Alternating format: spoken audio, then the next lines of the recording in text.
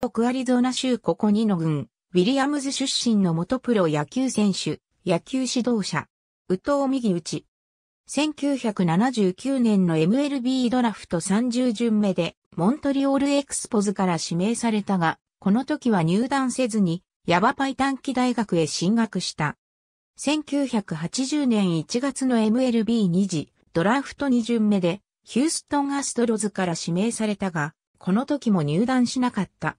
1981年1月の MLB ドラフト6巡目で、シカゴカブスから指名され、プロ入り。1984年9月10日のフィラデルフィアフィリーズ戦でメジャーデビュー。ヒューストンアストロズへ移籍した1986年より中堅手のレギュラーとなり、この年は38盗塁を記録した。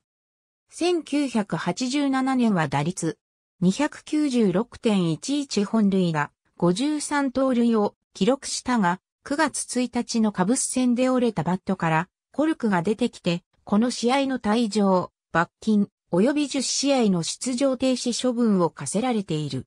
ハッチャーは自分のバットが全部折れたため、投手のデーブ・スミスからバットを借りた。と語っている。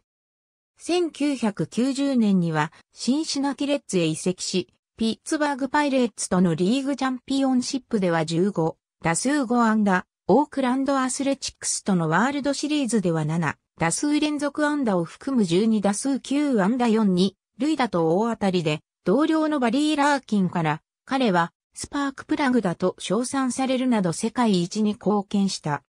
その後は、ボストンレッドソックスとフィリーズを渡り歩き、テキサスレンジャーズでプレーした1995年を最後に引退した。引退後は、タンパベイデビルレイズ、レッズでコーチを務めている。2020年はマイアミマーリンズで一塁コーチを務めるが、1年限りで退任した。ありがとうございます。